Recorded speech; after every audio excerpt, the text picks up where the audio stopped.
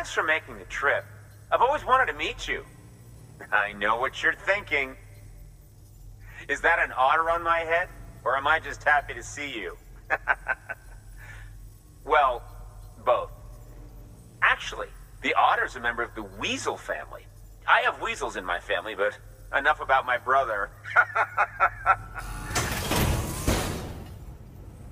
By the way, that hood was threaded by the hand of my cosplay partner. And she's amazing. It's triple stitched. That's got silk. She's incredible. Wear it and you too can ride the river rapids without fear. Unless you're afraid of looking too sexy. right.